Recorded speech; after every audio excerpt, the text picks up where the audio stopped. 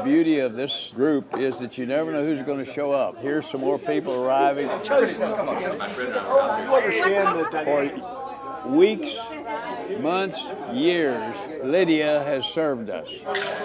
She kind of moves in and out of the crowd with ease. She knows everybody by their name. She knows what we're going to order. One mega taco. Extra special customers like this group, Gardner's group and Nancy's group. We just wanted to say thank you, Lydia. Thanks very much, Lydia. It makes your day. Yeah, you made my day.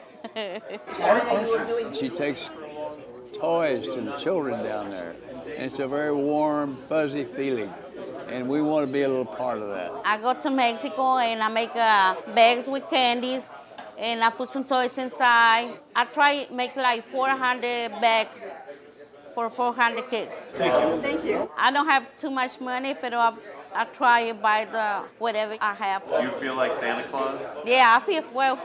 I'm not Santa, but I feel like Santa. Right here. And I see the little kids' the face when they give me one toy.